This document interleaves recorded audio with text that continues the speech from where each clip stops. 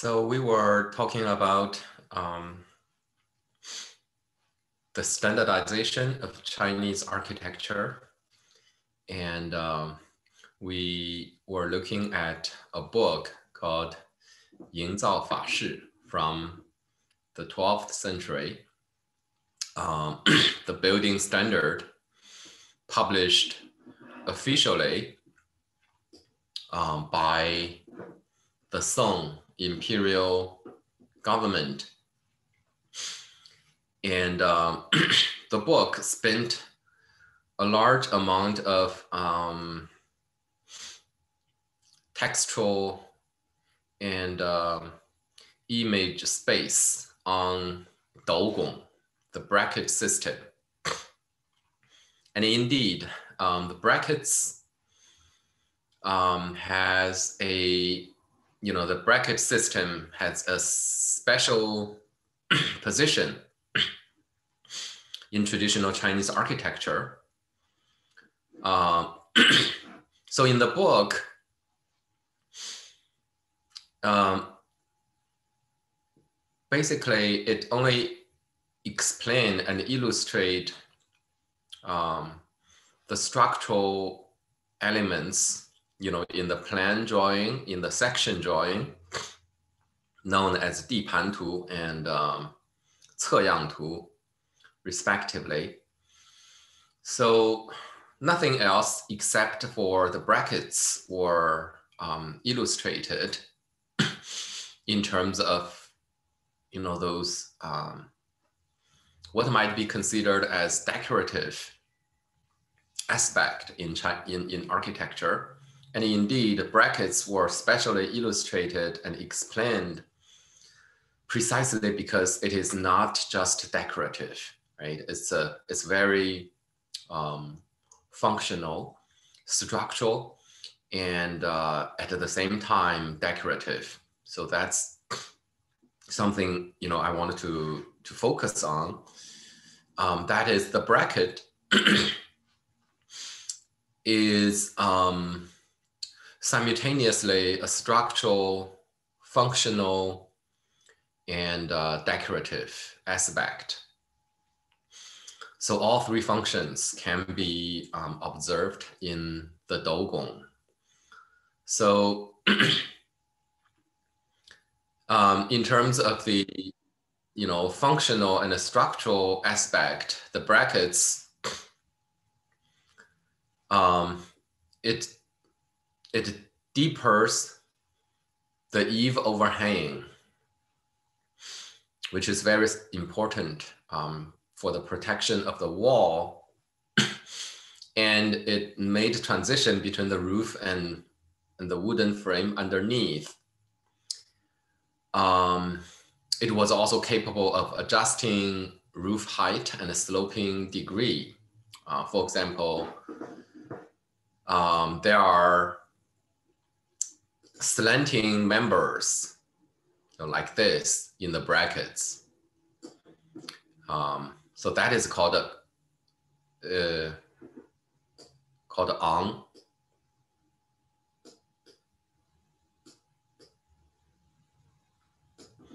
Called ang, and uh, the angle of that wooden member can be adjusted to adjust the slope of the roof. And um, also, you know, as a joint between the roof and the uh, column, brackets um, created a complicated uh, joint. So it's not a single one-on-one member connection of a joint. So from the tectonic point of view, it is a very complicated joint. And uh, that joint was made um, of numerous smaller members um, and thus created some kind of a redundancy in terms of connection. And uh, that redundancy is um, pre pre precisely needed during earthquake. So um, when there were earthquake um, happening, the shifting of the structure might damage or break some of those smaller joints in this kind of big joint. Um, but the chance is very low to have all those small connection broken simultaneously. And um, so that redundancy um, created a very anti-seismic uh, flexible structure. So, um, so redundancy, um, structural redundancy or connection redundancy is needed for good anti-seismic um, performance. Um, and uh, indeed, before the Yuan dynasty, you know, up to the Song dynasty, um, traditional Chinese architecture had very little artificial decoration. So today we are kind of used to see Chinese architecture being, you know, painted um, with figurative decorations all over, and especially um, on the wooden members. Um, but uh, up to the Song dynasty, traditional Chinese architecture didn't have that much artificial decoration. Uh, for buildings like this, and this is the Guanyin Pavilion from the uh, Dule Si Monastery. And indeed, you don't see uh, much artificial decoration. The major kind of decorative aspect are those bracket, set, um, bracket sets, right? Um, and of course, um, these were not purely decorative they are structural and they also created those anti-seismic um, performance. So let's take a look at how the this kind of a, um, joints were made to create this uh, overall joint uh, between the supporting system and the roof structure.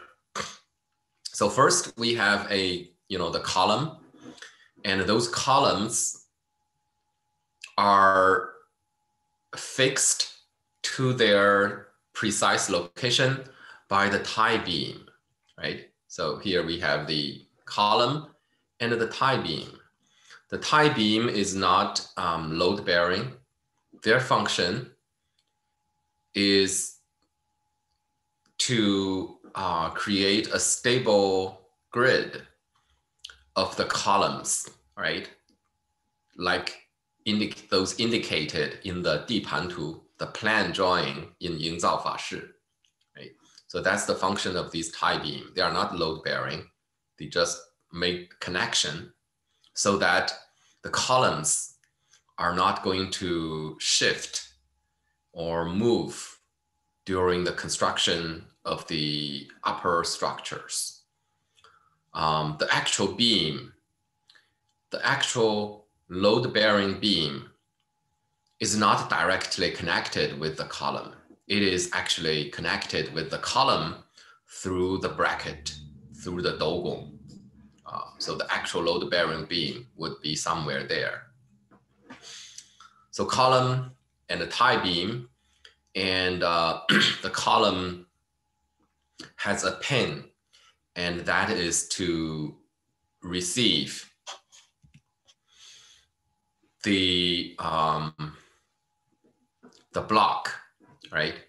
So this is the um, column top block. Um, this is known as the the dou, right? So the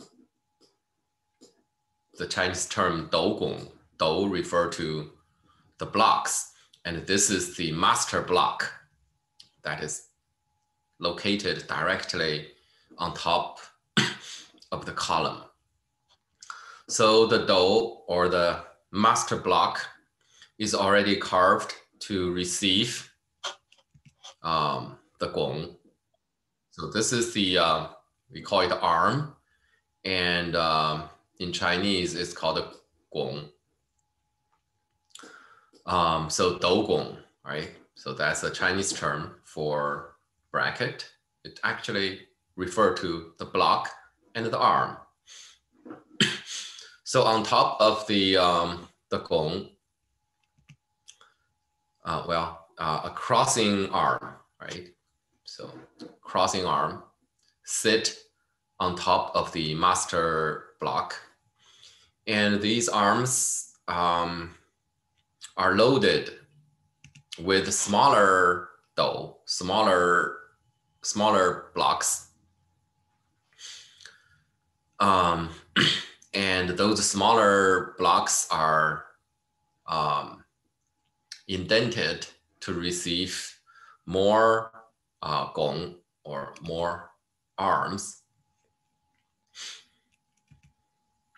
A crossing member and also carved to receive the diagonal member, the ang. And they are also loaded with smaller blocks and uh, more arms, filling member,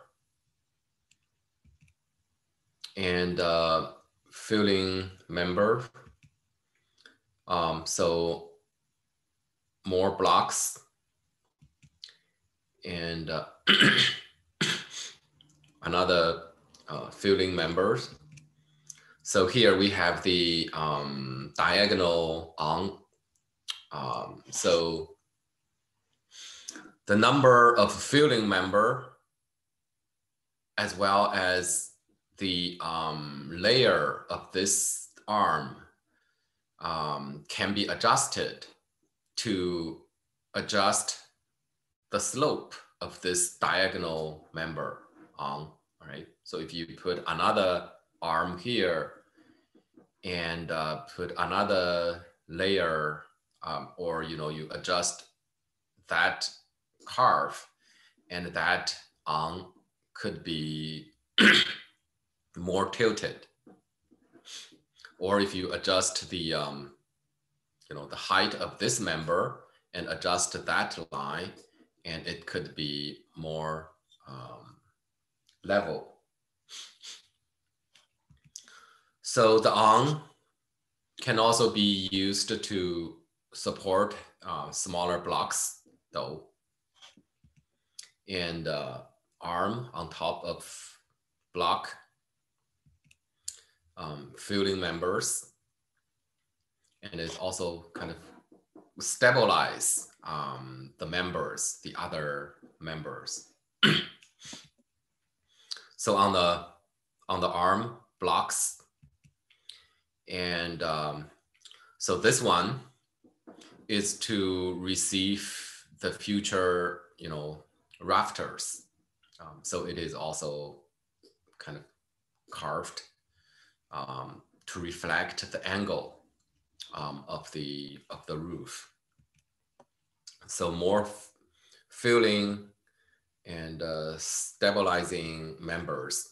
now, this is the actual beam. This is the actual beam, load bearing beam, right? So column, tie beam, and a beam. But in between the load bearing beam and the column, it, there's this dou right? This, this bracket. So it's not a direct uh, location.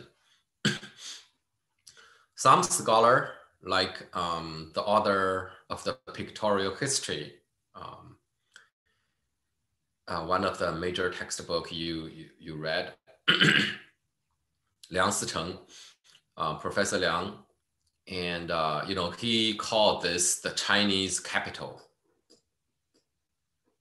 So he compare he compared this with um,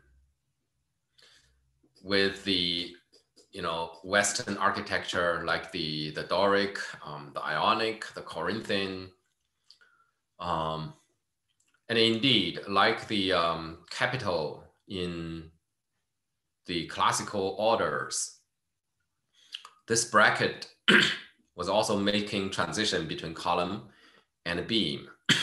However, in the Chinese case, they were uh, made of many smaller members, and those smaller member um, had flexibility. You know, unlike just one block of stone serving as the capital in Western architecture, um, in traditional Chinese architecture, these brackets um, had that um, flexibility and had that um, redundancy to prevent a collapse um, when earthquake happened. Because during earthquake, these would, sh would, would shake and twist, but they would be able to sustain um, the you know structural integrity. Um, so after the earthquake, some repair might be needed, but the whole structure usually do not collapse because of that structural uh, redundancy. So the beam is carved to receive purlin, right? so um, on top of the beam, we have this purlin. The most significant joint in a post and lintel structure is the joint between column and load bearing beam. And it is precisely that part that is um, strengthened. So um, beam and purlin, and then the purlin support rafter, right? On top of the, the purlin, we have the rafter. Um, so there is an additional part of the rafter that is called the flying rafter, um, 飞椽. And it is that flying rafter um, that connected, uh, cr uh, that created the upturning curve of a Chinese roof. So otherwise, you know, you won't have that. And again, it could be adjusted to, uh, to be kind of flamboyant, um, raising higher, or it could be more flat. So that, that angle could be adjusted. But usually you have this, this flying rafter to create the, that upturning, upturning eave uh, in traditional Chinese architecture. Um, so here we are looking from above and now looking from below and we are kind of more in the um, interior position, looking up at the eave, right? So that would be the wall separating the interior and exterior. And there we have the, the eave. And uh, here we are looking from exterior and looking at that, that angle, right? So this is a typical joint between the column and the roof structure. and um, on the column top, that ang is, is directly under, under the beam. But on, on a intercolumnar location, that ang that slanting member, diagonal member, would go all the way up to the location below a purlin, right? So um, this is a the column top bracket set. So imagine, you know, there's another column and there's a column top bracket, but in between you would have more bracket set. And for that bracket sets, there wouldn't be a beam to stop that slant, slanting member.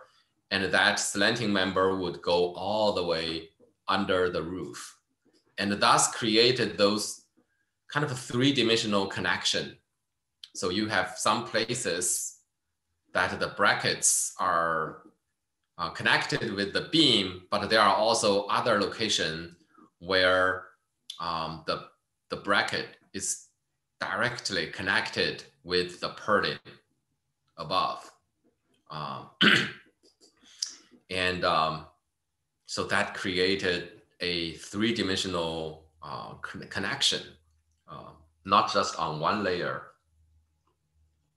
but on different different layers and different um, different places, um, making a complicated, um, very comprehensive connection. So that in one word, the roof and the supporting system are integrated, you know, more integrated. And for, for those intercolumnar, for those intercolumnar bracket set, the tie beam is load bearing, right? So when I say the tie beam is not load bearing, I'm referring to the main kind of structure. But for the intercolumnar um, bracket sets, its load is, is upon the tie beam, right? so um, if you we borrow the uh, classical Western terminology in the analysis of um, we know that Vitruvius talked about the three requirements for architecture. The first one is utilitas, that is um, commodity, you know, the function. So the bracket um, had the uh, function of enlarge the eave overhang, and that is its commodity. It is useful. It protect the wall. It also kind of uh, provide um, shadow and uh, protect that um, platform.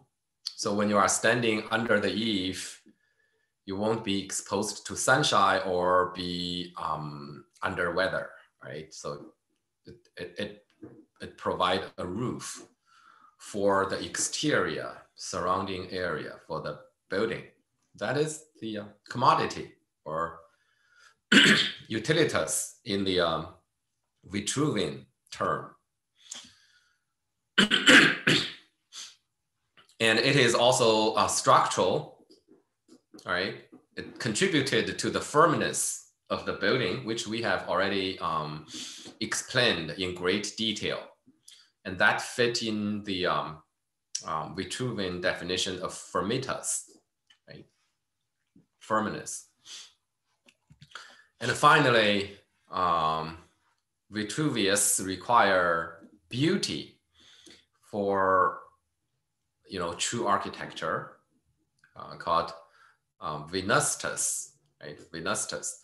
And indeed, um, that um, bracket, especially in the later, late imperial Chinese architecture, brackets were um, painted um, harmoniously to create a decorative band under the eave. So that decorative band, horizontal, can be compared to the frieze in classical architecture. You know, we know in classical architecture, we have the um, we have the column and then the um, um, the architrave and the frieze, and then the cornice, right? So so that that part is called entablature, right? So you um, you have all taken uh, 1310, you know, that classical order. So that bracket, and in this case, um, Professor Liang's um, reference it as a Chinese capital is, is not very um, suitable because if we borrow that Western order concept, Now, this part would be considered a capital. And uh, that would be the architrave and this bracket is actually um, uh, comparable to frieze um, in classical order. And that part is the uh, cornice, of course.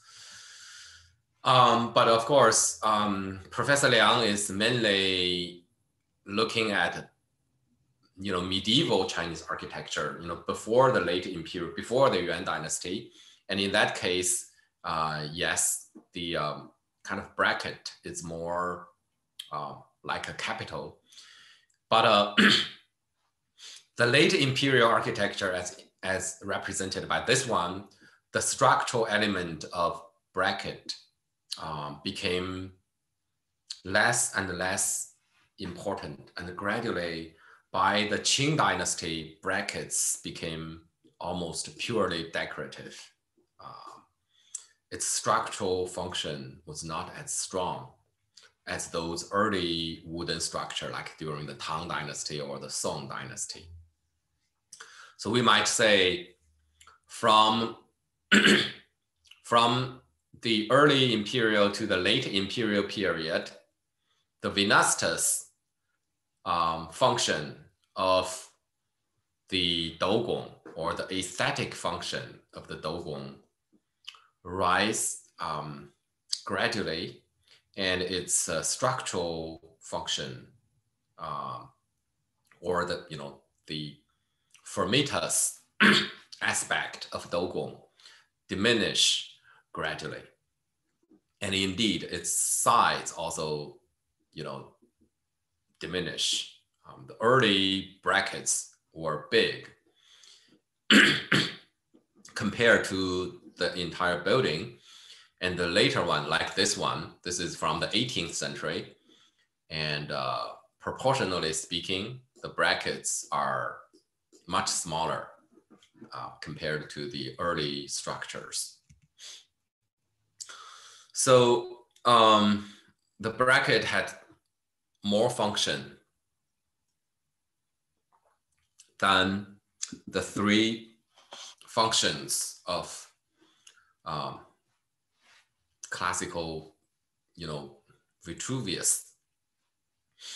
In Chinese architecture, the module was also based on bracket. We know that in classical architecture, it is the diameter of the, um, of the column, but in Chinese architecture, the bracket is so important that its member provided the, um, the module for the whole, whole structure.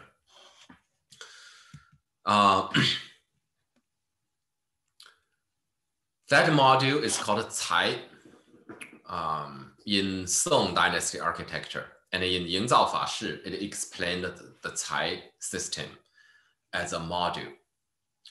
And what is a Cai?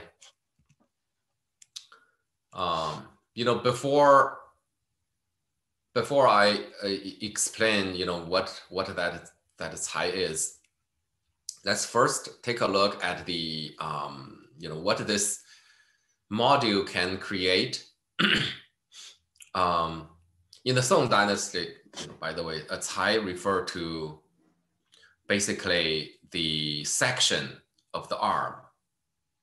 That is a module. You know, this is the arm, or you know, that is an arm, or a section. If you cut that arm that way,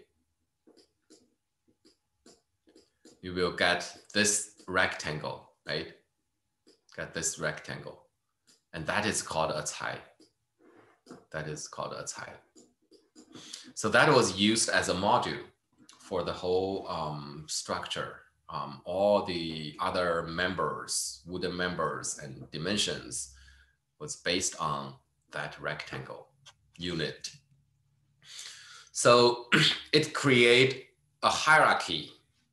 So if you choose a smaller cai, say, you know, four inch by five uh, um, by six inch, and you create um, smaller building like that, But if you define the dimension of the cai, you know, as eight inch um, by 12 inch, then it would, you might create a building bigger than this, um, you know, as big as this one. Uh, in terms of proportion, they are very similar. But in terms of scale, they are very different. And that is the result of different grade of cai. So the cai, in another word, is not one specific dimension. It is a unit.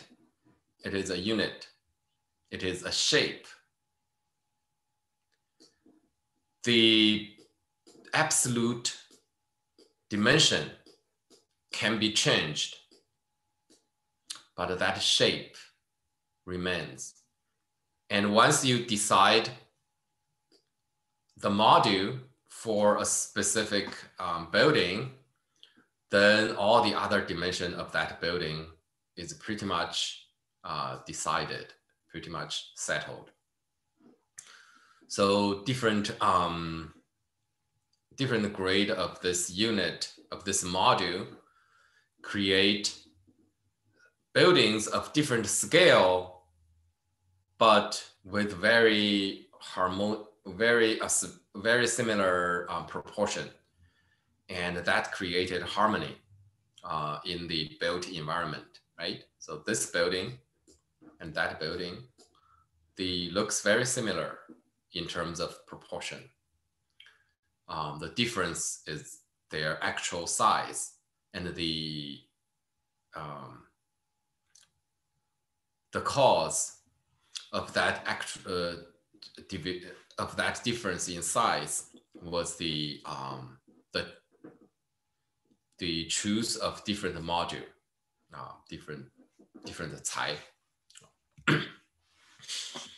so so here we are. That is the um, um, the eight grades of the of the module of the type. All right. So um,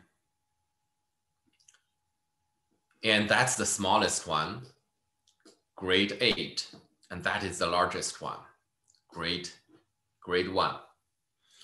So um, the dimension in grade one doubles the dimension of grade eight.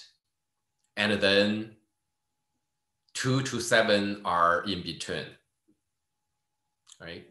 So this dimension in grade one is twice the number of that one. And that is twice the length of that one. So that's these were all kind of very um, carefully defined in the Song Dynasty book, 营造法式.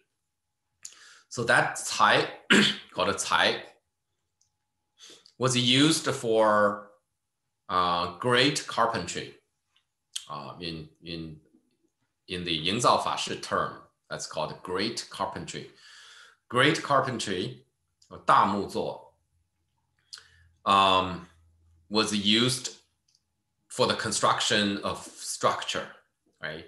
So everything we have explained so far is great carpentry, including the bracket. Bracket is part of the great carpentry, 大木作. And um, so there's another module called the fen, uh, called the zhi. This is not so not not fen. Fen is the uh, smaller division of that cai. All right, so it is divided. Um, each cai is divided into uh, 15 by 10 fen. Right, so that dimension is divided into 15, and that dimension is divided into 10. So in another word, the cai fen system defined the proportion of that module that is always a three to two uh, because the, the, the fen is the, is the same for the same module, right? 15 to 10. Um, it's always 15 to 10. That is, you know, three to two, of course. So that's called a, the Caifen system. Caifen system um, is for the, the great carpentry, for the structural element, element. And there's also a smaller module that's called, that is called, um, actually called the zhi.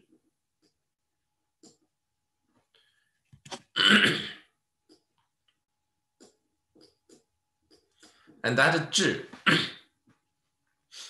um, is always divided into fen.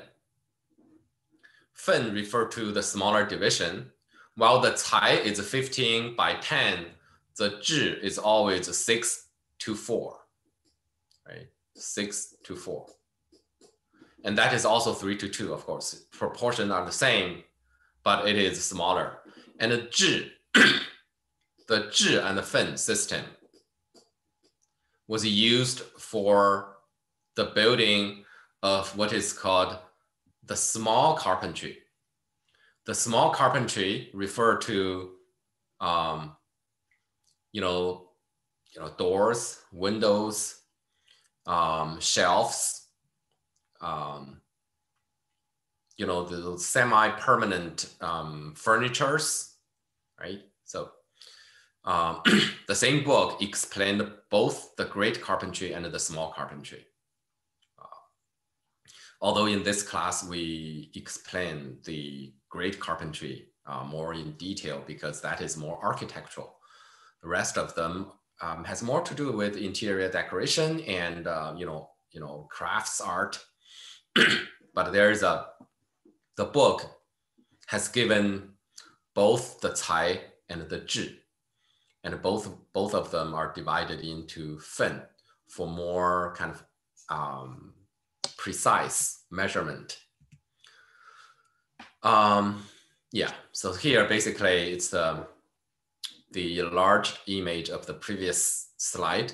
So here we have the cai, here we have the zhi, and both of them were divided into fen, 15 by 10, 6 by 4. and that type in the great carpentry is is that is that that section. In another word, so if you have a log whose section is a cai, then that log can be used to to shape the arm in the do, in the dougong, the, the gong, in the bracket. So you just carve it and you create an arm. Uh, and then the other members are all, you know, um, the times of that unit, right? So you can say, for example, the column, the column, um, which is a circle, but you can talk about its um, dimension. Um, um, how many fen, right? So a height is 15, so that diameter could be, for example, uh, 60 or something. Um, or you can talk about a beam, you know, a beam located on top of the um, bracket. You know, that could be, um, that could be four cai. So if it is four cai, then, then it, that beam would be like that big, right? So four times on each dimension. Four times on each dimension for that big beam located on top of a bracket. So that's a four cai beam, which is really big. Um, and its proportion is also three to two. So you have always have that proportion for the section of major load bearing members in the post and lintel system right? Except for the circle column. um, and we have already explained that the jump, right, in Chinese architecture, so that layers are called a jump. I think now we understand better why it's called a jump, because this looks like it's jumping out. One jump, two jump, three jump. So this would be called a three jump dougong, three jump bracket. And uh, this one, one, two, three, four, five. This is a five jump. This is a three jump. This is also a three jump. This is just one jump, right? And this has no jump, zero. So um, the number of jump also create hierarchy in Dougong system, right? So it creates different complexity, different complexity uh, in the uh, in this kind of decorative aspect of the um, of the Dougong, and of course it also, you know, if you want to support a very big beam, very thick beam, then you might need um, more more jump to create a large top uh, for the brackets. And um, those can, the, you know, the beam can be smaller. Um, so, um, and on the facade, um, you create that different complexity, um, different kind of uh, ornateness um, under the eave. So that is also hierarchical. Higher level buildings has more jumps. Um, so again, you know, draw your attention to the difference from classical capital. So here we have a very complicated joint between the, the, the post and the lintel. While in classical architecture, that is very um, straightforward, right? The post and the lintel is just one on top of the other. But in traditional Chinese timber construction, there is a complicated joint created by the bracket. And um, so that hierarchy is not only if you know, reflected in the scale um, that is created by the ranks of the module, the Cai and Zhi. Uh, not only in the uh, number of jumps, um, but also in the comprehensive plan, right? That hierarchy. So um, the number of bays called the kaijian um, in Chinese term um, and the uh, main facade is almost always of odd number because the odd number is in the uh, traditional Chinese philosophy is called the yang number um, or the active part. And the even number were called the yin number. So that yin and yang um, aspect of these numbers. So for uh, the main facade, the number of bays are almost always 9753. And that odd number also guaranteed um, the center of the main facade is a bay, not a column. And the, um, the side could be even, could be odd. Sometimes it's even, sometimes it's odd. That is not um, specifically regulated. Uh, but the main facade, the long side of a building is almost always odd number. and there are hierarchy, right? Number of base, um, three base, that is not as significant as a five base um, or seven bay and uh, you know, nine, nine bay structure. So that hierarchy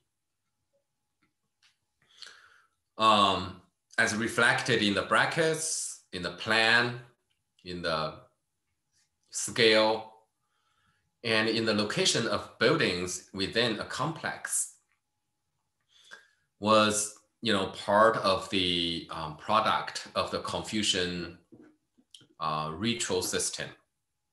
Um, the ritual of Zhou that defined the capital for the son of heaven, capital city for the son of heaven. That is nine li square, nine mile square. And in the same book, it also talk about um, the capital city for um, a, a duke, um, a duchy kind of kingdom or a domain should be seven, seven li square, and then um,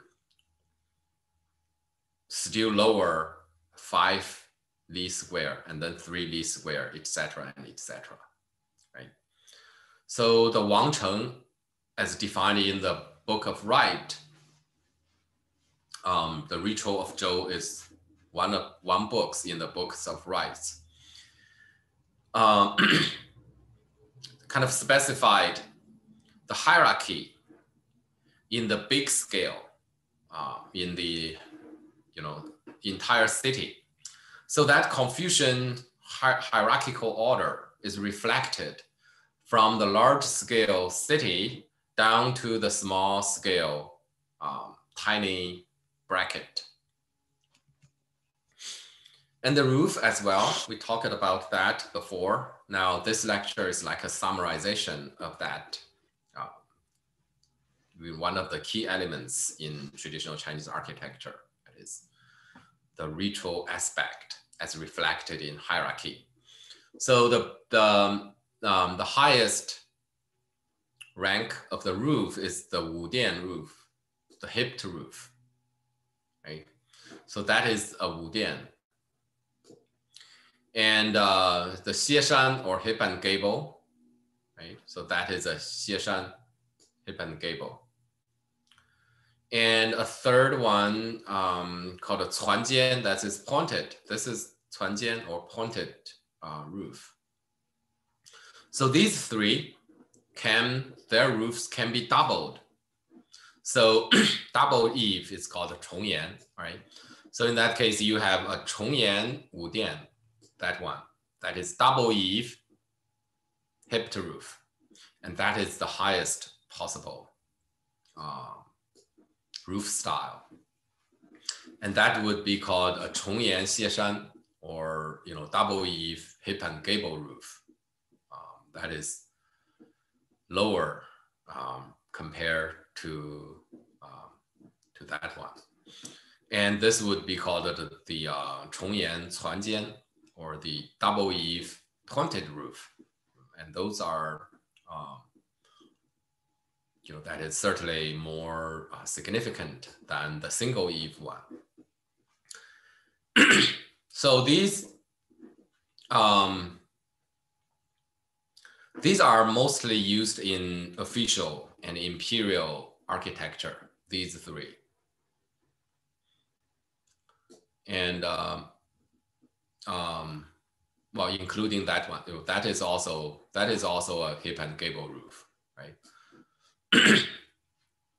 the difference is in the ridge, right? That that one is actually this one is actually a more standard uh, xieshan, so it has a ridge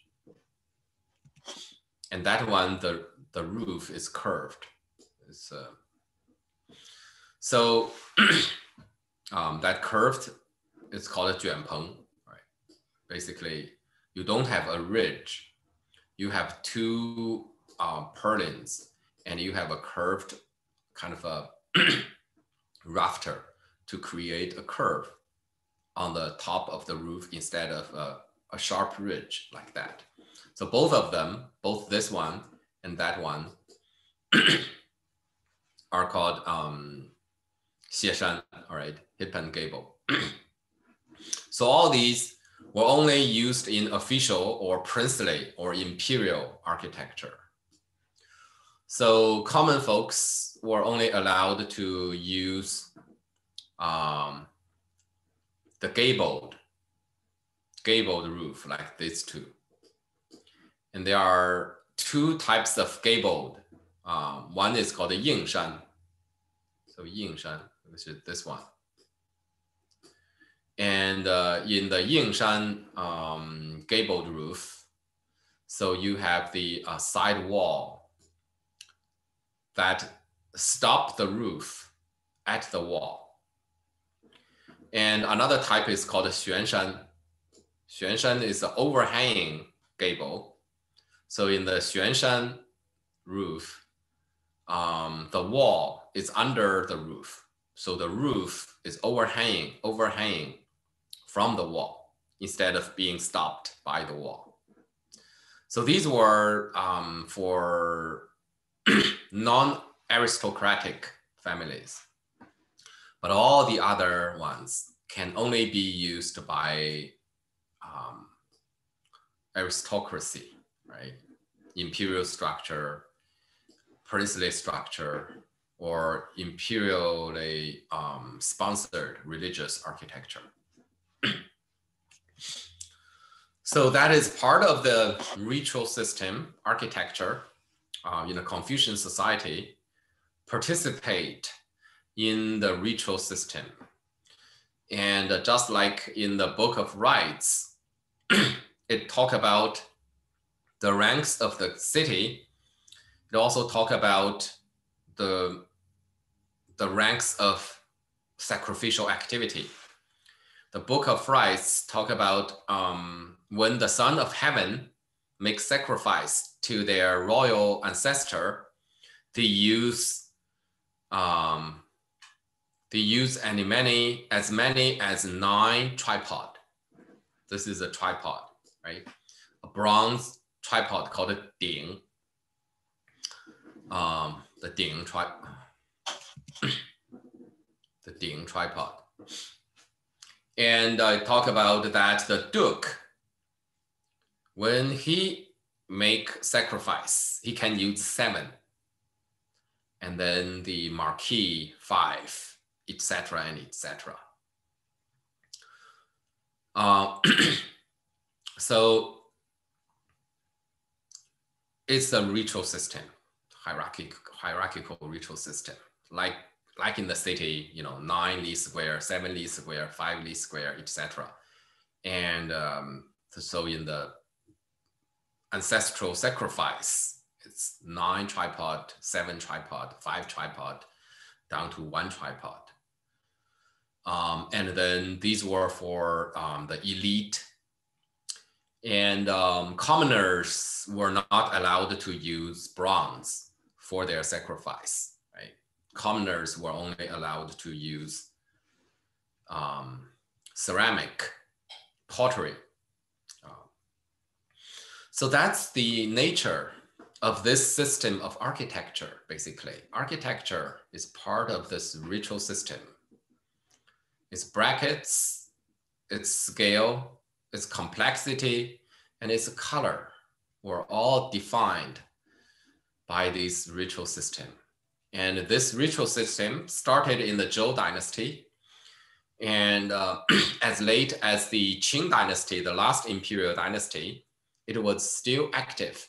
So uh, the, the late imperial dynasties like the Ming dynasty and Qing dynasty publish the law.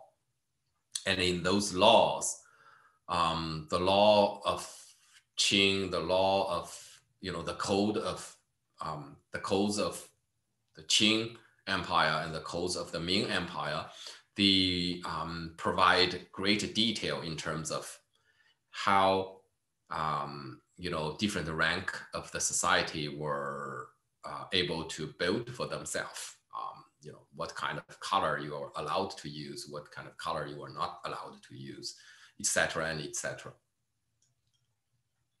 So traditional Chinese architecture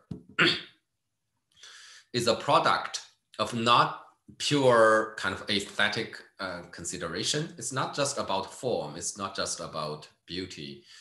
It is um, it is participating in the ritual system.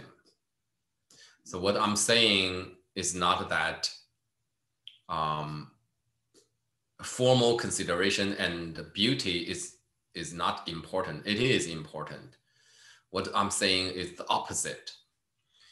Um, what I wanted to say is that, in fact, in our contemporary world, what we call beauty, what we call formal consideration, still had a large amount of ritual consideration. Right? The ritual system you know, if you observe carefully enough and critically enough, you would recognize a lot of phenomena in architecture and in every aspect of modern and contemporary life that is still pretty uh, ritualistic. You know, ritual, if we understand the word ritual in a more, in a broader, um, broader way. Um, so that ritual element um, is still pretty active in any human activity uh, of any period. So it's just in the Confucian society that is most dramatically and demonstrated and most clearly um, expressed. So um, this this ritual system and this you know dougong somehow you know became a symbol of that architectural tradition but it's, it is simultaneously doing it on all level it created it, it is a unit that is simultaneously um, everything simultaneously structural, functional, decorative, and ritual. Um, so Dougong, it is um, a very uh, symbolic joint. Um, it is a, a unit of signification. Significant, but it also signifies. Um, it communicate meaning it is not only structural, it is also uh, a, a unit of signification. It is telling a story and it is suggesting rank. It is communicating a lot of information beyond its, its architectural, structural, and uh, you know even artistic. Uh,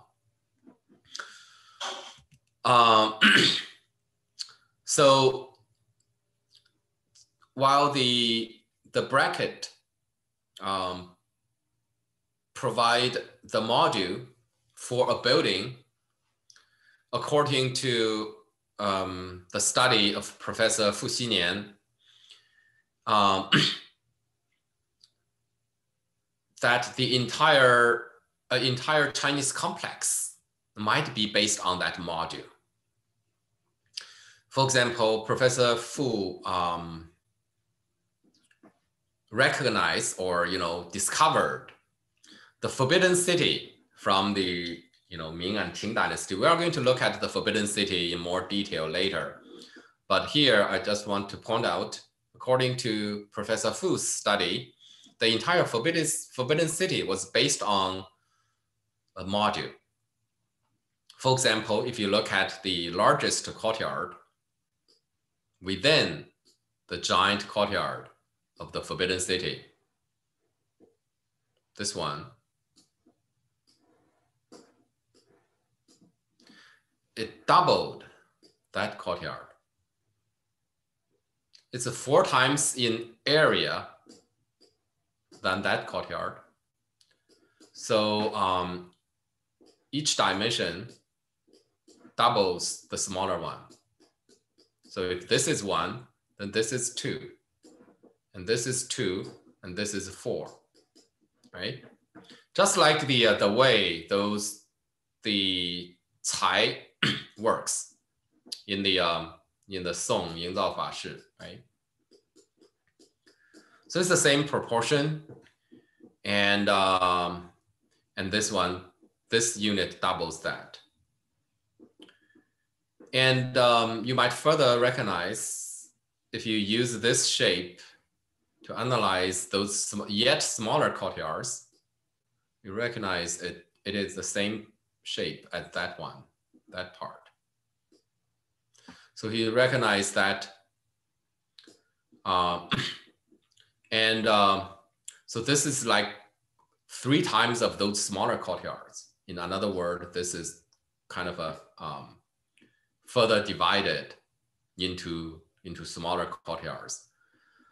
So the large scale planning also has a module. And of course, down to the smaller unit in the planning scale and that small courtyard and each individual building was based on the module of the bracket. So in another word, the small module from a bracket generate the whole um, large scale building um, of, of grand structure like the Forbidden City. So, and um, we might even, you know, further study, also discover that the whole city of Beijing was based on the Forbidden City as a unit, right? So if we take this as a unit, and then the whole city of Beijing, Ming and Qing Dynasty Beijing, was also based on that in its planning.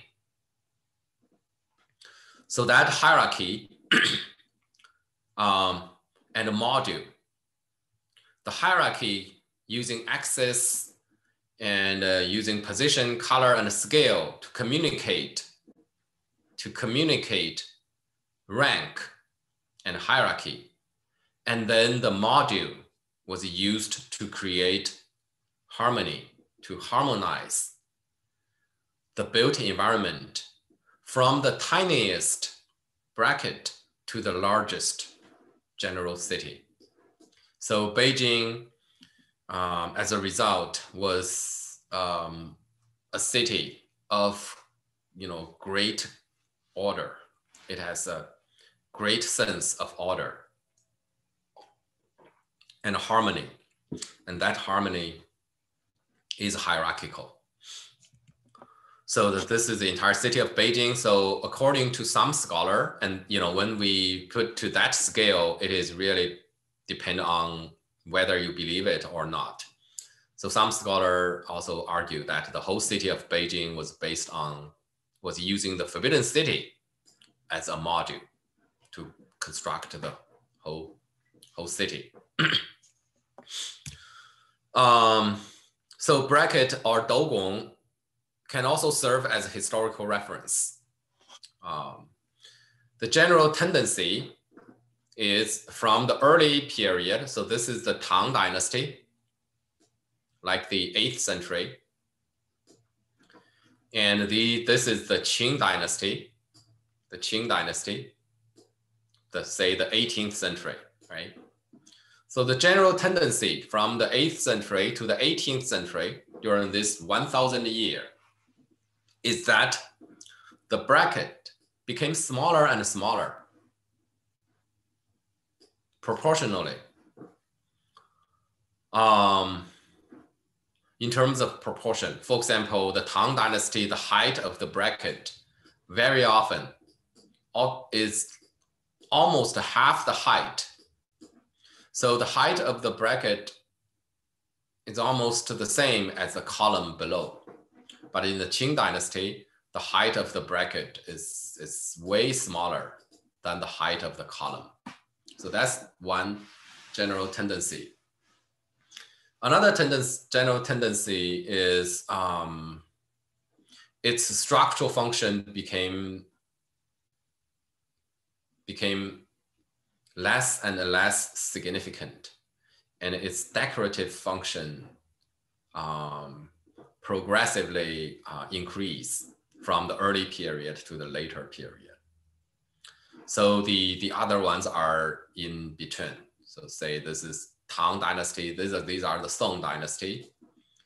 and uh, you know the the Liao and the Jin, the Ming, the Yuan dynasty, Ming dynasty. So Qing dynasty, um, the bracket almost was reduced to a decorative element. So these are discovered by Professor Liang Sicheng. Um, Professor Liang had made this observation. And today we can almost use this as a historical reference. Say you encounter a unknown structure and you want to guess the age. So if you see a huge bracket in, in proportion to the other structure, you might say, you know, it's an early uh, building. And if its bracket are significantly smaller and mostly decorative, so chances are it is a, um, uh, a late um, building, late imperial building. So Dougong can be used as a historical reference in the study of traditional Chinese architecture. Um, so a comparison of a, this is a 10th century building and this is a 18th century, right? So um, you might notice here, the bracket is very visible, but here you barely see the bracket. Bracket is just a tiny little band there. Um, and uh, another tendency is the slope of the roof. I think I also mentioned before. The roof became higher and higher. So this is also quite obvious. In the early building, you barely see the roof from the ground. But in later building, you can see the roof um, from the ground. That is because the angle of the roof in the later period is, is sharper and the earlier one is usually more um, leveled. So I think that's the um, major part of this lecture. And uh, I just want to show you the rest of the slide to kind of compare the, the Eastern or East Asian architecture, you know, China, Japan, and Korea included, that features post and lintel system um, to me, the best symbol for the post and lintel um, East Asian architecture is the Japanese torii, the Japanese um, memorial arch, which is you know just a post and a lintel. And a bracket can be considered a, a um, more ornate version of this simple post and lintel system. And in the West, it is the triumphal arch that summarize the arch decorated with the um, the Greek order, right? So the Greek order plus the Roman arch, and also the memorial gate is a symbol of the the um, simplest possible architectural expression of that system. You know, simplest possible expression of post and lintel, simplest possible expression of the arch and vault. And uh, they created different um, appearance. On the left is the Meiji Shrine in Japan. On the right is the uh, Notre Dame um, Cathedral uh, in Paris. And uh, the interior, right? Contrast, post and lintel, and here arch and vault. and um, looked from below, the um, were capable of making their own expression in the creation of architectural characters. And um, they also experience change, historical change. Classical order in the medieval time was substituted by this kind of medieval capitals that had um, that is very diversified, and so are the um, East Asian brackets. You know, sometimes it can be carved into this figurative decoration, showing a flying figure, um, substituting those arms in the in the dougong, kind of more decorative, uh, deviate from the standard standard um, just like medieval capital deviate from the classical kind of uh, Doric, Ionic, and Corinthian. Um, and uh, they are very different. However, they were capable of doing, capable of participating in every aspect of the uh, human society. Uh, the East Asian building and the uh, European ones. And they can also be developed into really compli complicated um, surfaces that um, that were both kind of structural, uh, functional, and at the same time decorative, right? Um, just like in the, the Gothic, um, late Gothic building that developed the ribbed vault uh, into really an unnecessary complexity, creating a very decorative ceiling that evolved from the structural uh, necessity. The Chinese architecture and or East Asian architecture also had that capability and that structural element were explored to create um, a dazzling complexity that is way beyond structural necessity. Um, and I think you know modern architecture is doing the same thing. Modern architecture, no matter how much it claims being structurally uh, um, how much it claimed that is it is um, aiming for efficiency, aiming for um, kind of a functionality. Uh, there is a decorative aspect in every building. There is a ritual aspect in every building, no matter whether it is old or it's new. So something like this um, the way these members were combined was way beyond uh, structural necessity. There is always a formal and a ritual consideration behind it. Uh, and those formal and you know ritual um, aspect is always somehow connected to functionality and structural integrity.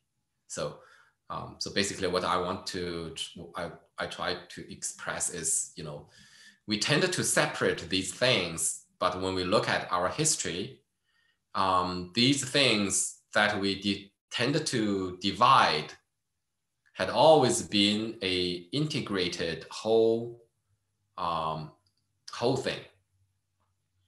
And when we look at that history and when we come back to look at our own architectural practice, we recognize indeed uh, when we try to separate structure from form, beauty from you know um, functionality, um, we actually can never you know totally separate those things. Um, the and it is more much more productive to consider them as comprehensive thing and uh, to um, to make connections and acknowledge that these aspects of architecture are integrated and uh, and to acknowledge the, um, the wholeness of architectural practice. Um, and that element is kind of not only in grand structure, but also in um, humble structure. So in big building, there is a, we can observe the integration of form and function, structure and beauty. And even in the humblest building, we, we can recognize that. Um, the form and function, the beauty and uh, structural element cannot be um, separated absolutely. They are always kind of integrated, right? All right, we can um, stop here for this lecture.